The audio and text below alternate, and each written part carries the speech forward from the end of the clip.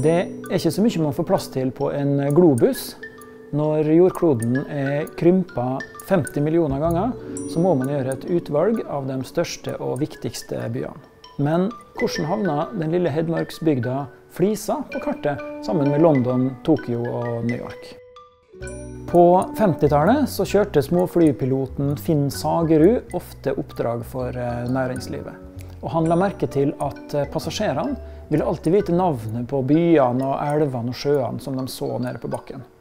Det viste seg at folk likte å se verden i et fugleperspektiv.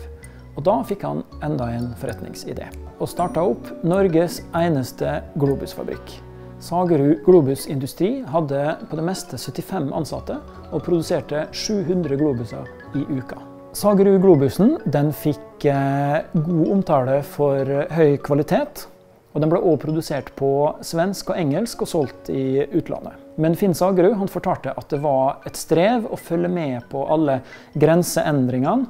Og en periode på 90-tallet måtte de faktisk stoppe produksjonen i et par år pga. alle grenseendringene i Jugoslavia.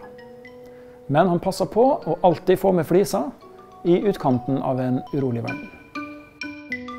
Globusfabrikken ble nedlagt i 1999, og da var det bare to ansatte igjen på fabrikken.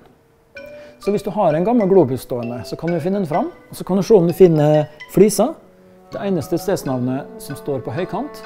Og i så fall så er globusen din en del av norsk industrihistorie.